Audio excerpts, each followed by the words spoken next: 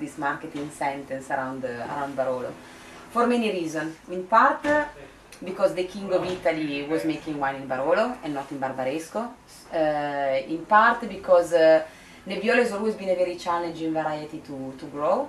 And during uh, medieval time, 1500, in difficult moments, uh, somewhere else, included in Barbaresco, sometimes the people pull out uh, Nebbiolo and they planted something that was easier to, to cultivate, Dolcetto or, or Barbera.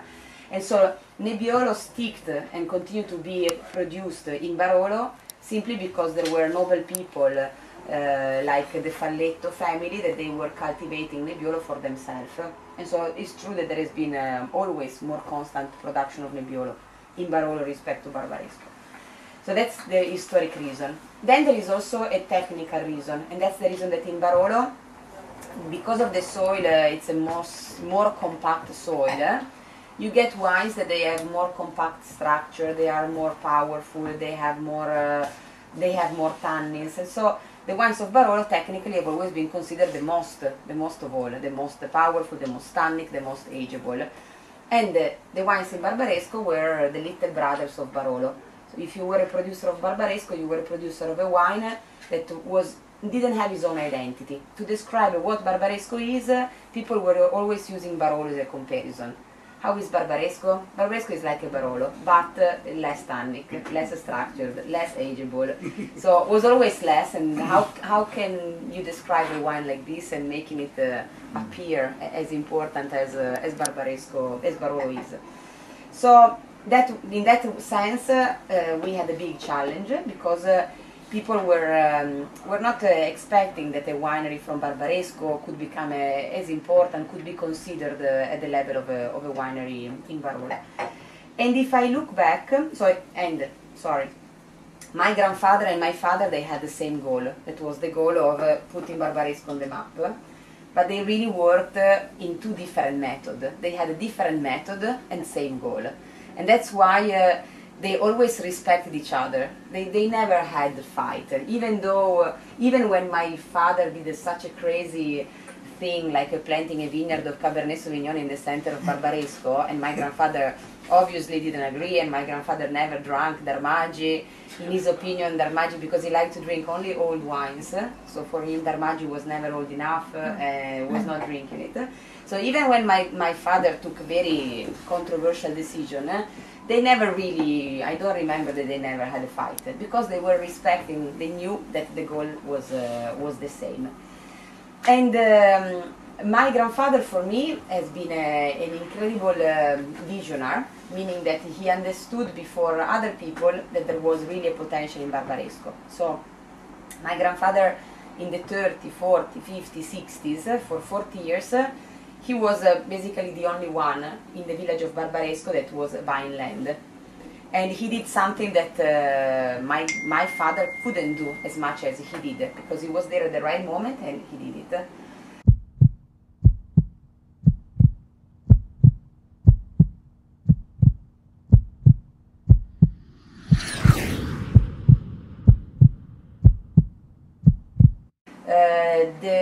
the, time, the people making wine were negociants. So the negociants, uh, they were not investing in land, they were not buying vineyard, they were buying grapes. Even, even though the negociants had economic power, they were using their money to buy real estate, not to buy vineyard. It sounds, sounds very awkward. And there are uh, negociants that they started to buy and purchase land only in the late uh, 80s, 90s, very late, when nothing was, was available anymore to be a negociant has always been something quite traditional in Piemonte. So the negociants, there were some amazing negociants, but Bruno Giacosa, which is an artisan and is a man that knows grapes uh, uh, and vineyards more than anyone else, uh, he has never been owning vineyard. Until the late, I think the first vineyard that he purchased was Falletto in the late 80s, uh, very late. And uh, only the most successful company remained, but many disappeared. So you can find wines uh, made by wineries in Barolo and Barbaresco that were negociants that uh, in the 60s, 50s were there, but they don't exist uh, anymore. So my grandfather was really one of the few that understood that uh, sooner or later something was going to change, and it was important to put your hand and purchase and have as yours uh, the best sites available. And for 40 years uh, he had no competition from the negotiants that they were not buying land.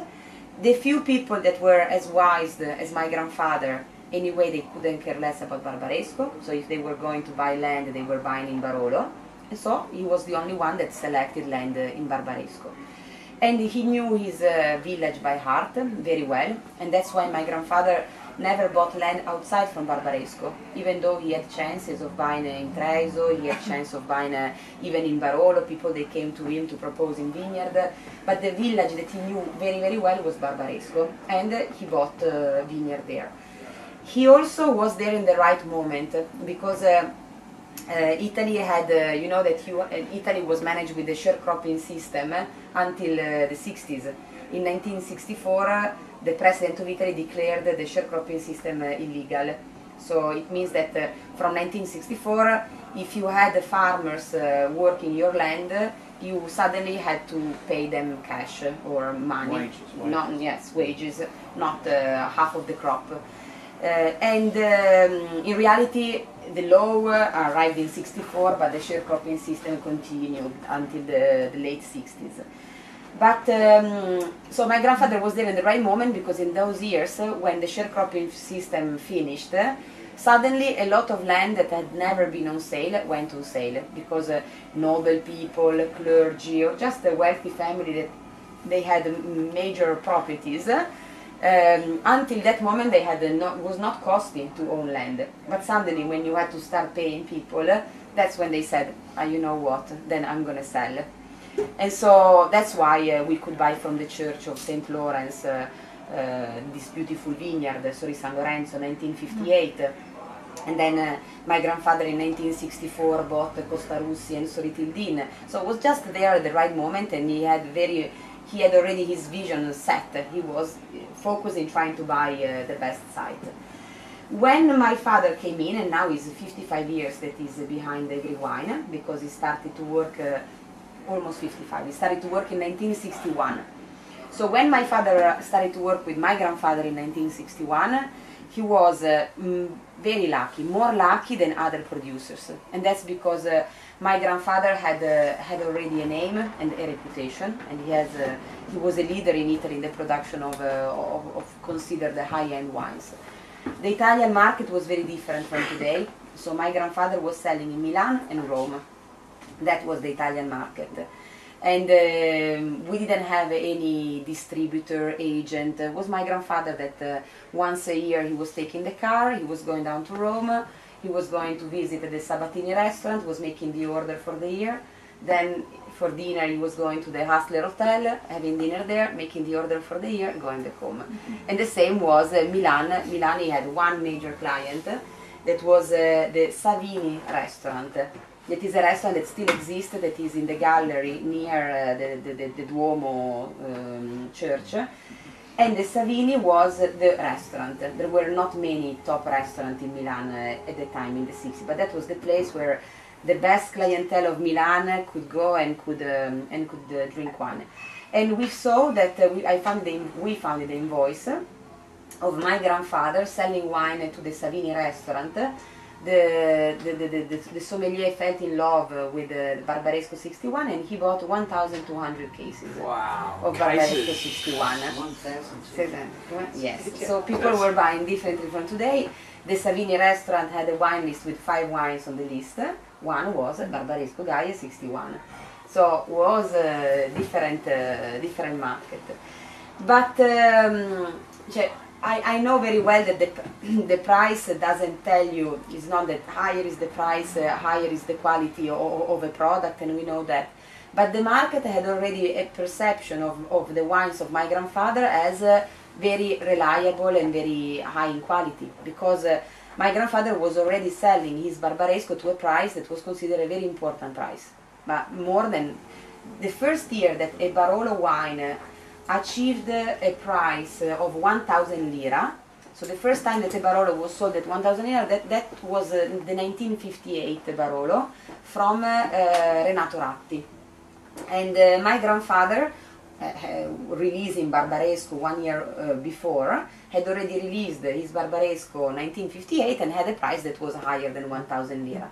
So it means that uh, he had already created his his reputation, and uh, people were trusting what uh, what their wine were, regardless that they were Barbaresco and uh, and not Barolo. probably also what helped him is the fact that not only was selecting land, but also he was he decided to select vintages. So he had this idea that he, he, he thought that Barbaresco he had to, to respect the, the dignity of his wine. His wine had to come out the only when was uh, really absolutely as he wanted.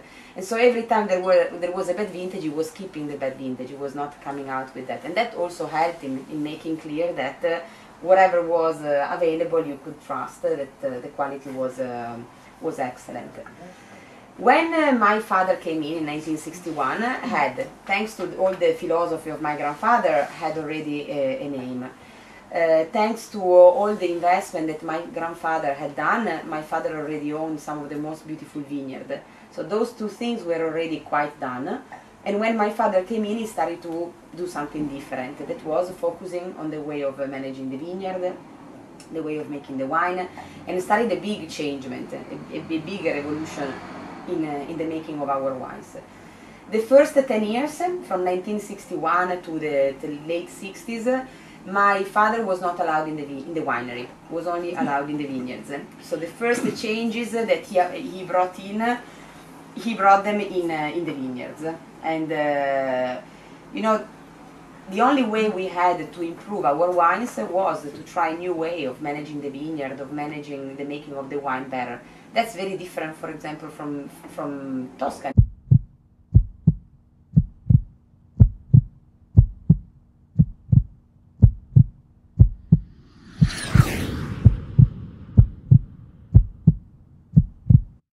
Tuscany and Piedmont, the renaissance of the Tuscan quality and the renaissance of the Piedmont quality had two very different um, way of, uh, of being. Because in Toscana, people were working with Sangiovese, and Sangiovese, they had much more in their mind the concept of blending. So Sangiovese was always blended with something. Canaiolo, Colorino, Malvasia, Trebbiano, then the international varieties, uh, often was blended. So the, the Renaissance in Toscana started really with, uh, with Antinori that uh, decided uh, to take away Tignanello from the denomination Chianti because by law otherwise he was obliged to, to blend 40% of white uh, wine and the white wine was produced such in massive quantity at the time that was like adding water to, to your red wine. So you can imagine how difficult it was to, to try to make something complex and serious when you had to add uh, a white wine uh, inside. So when Antinori took out the Tignanello from the denomination Chianti in order to make a, wine only with the red grapes, that suddenly, just that alone, was such an improvement in quality from one day, from one year to another, that everybody could perceive a, major, without without other things, just the fact that they took away the, the white from the red, made uh, their wine uh, growing in quality, and the market uh, immediately perceived that. And uh, suddenly, the, the, the, wine lovers or the wine journalists they had something to talk about because you had some new category of wine in Toscana. So also there was more interest in, in Toscan wines, and then people followed. So that's, in my opinion, the reason why abroad the first region of Italy that became well known for quality has been uh, Toscana.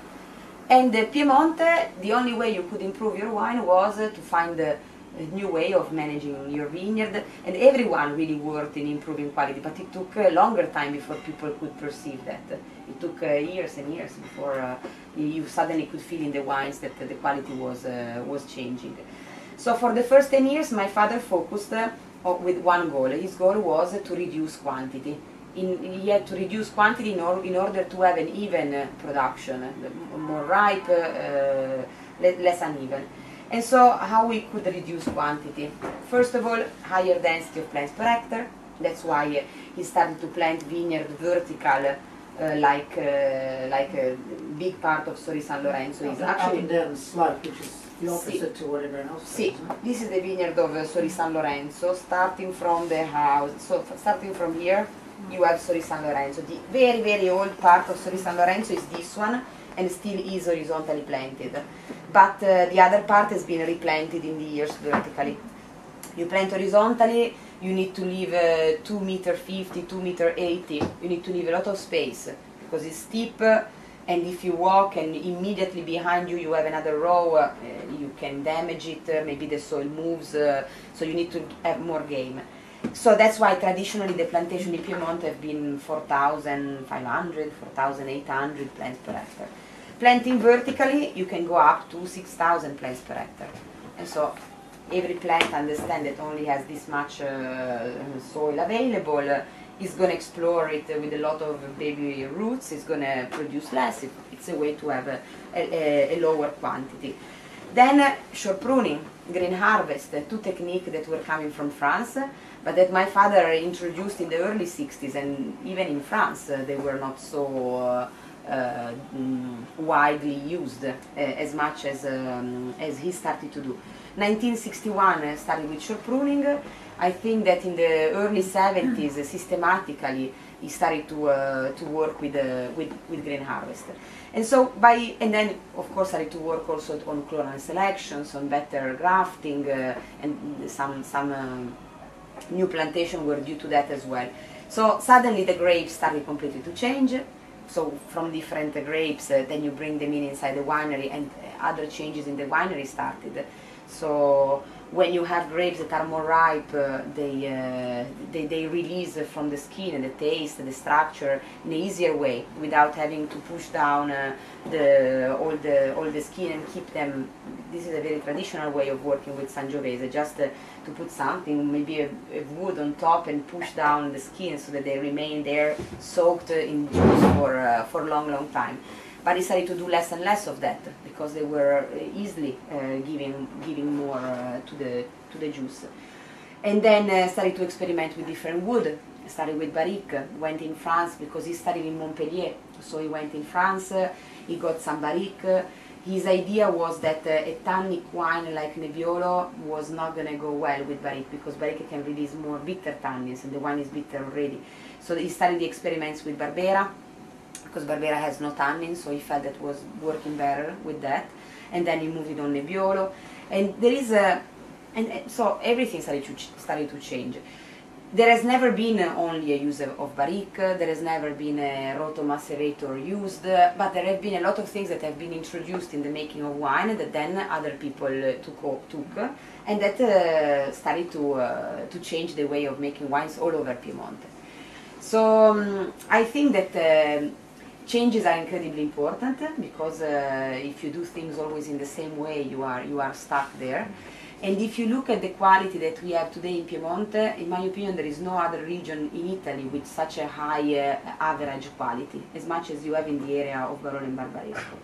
There have been extremes, because that's always how things goes. So from an extreme uh, uh, traditional old way of making wines uh, and maybe uh, habits that people uh, had and that they were they were a bit chained uh, by by them. suddenly, people started to work in as a reaction. Decided to work in a more modern way. So in the past, the problem was the ma the main problem was that grapes they they were never constantly perfectly ripe. So the wines they always had tannins, that they were becoming green, bitter tannins. There was not an expression of fruit because the grapes were not fully ripe. The aging in wood was so long uh, that after a while the wines had a volatile acidity or maybe they were already slightly oxidized. So to all these uh, extremes of bad winemaking uh, arrived as a reaction another extreme that also led to some bad uh, winemaking. So you moved from grapes that were not perfectly ripe to suddenly in the 80s, 90s, you started to find wines made with grapes too ripe. Uh, if before uh, people uh, were using casks that were too old, suddenly you moved on another extreme, uh, wood that was much too, uh, too, too, uh, too, too new. And then in between arrived also global warming that didn't help. The fact that everyone was trying to make wine more concentrated, more fruity, because then became an added thing that didn't help at all. But um, these two extreme groups, uh, that the extremes are never um, balanced, so the extreme traditionalist and the extreme modernist uh, that started to fight one with the other, instead of remaining two separate uh, fighters, in reality, little by little they merged. And the, the, the only good thing that, uh, one of the greatest things that modernity brought has been clarity to the wines. That they can show much more where they come from because they don't have uh, uh, inter interference of, uh, of old wood that as there was, uh, there was before.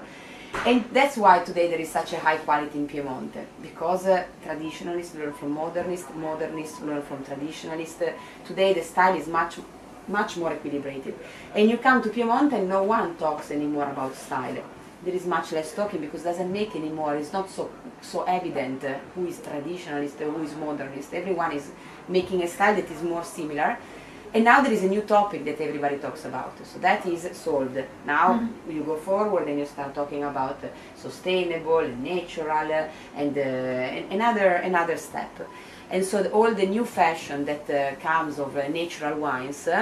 Uh, that's another example of something that uh, leads to extremes, and there are some extreme example of wines that maybe have some fault. But anyway, it's something else, a new philosophy that is uh, pushing the boundaries, and so it's obliging everyone to face uh, that there is a new way of making wine, and then maybe there is something good there, and you can be without, with or, or against, but uh, it's moving forward. And so it's always like that, I think that. Uh,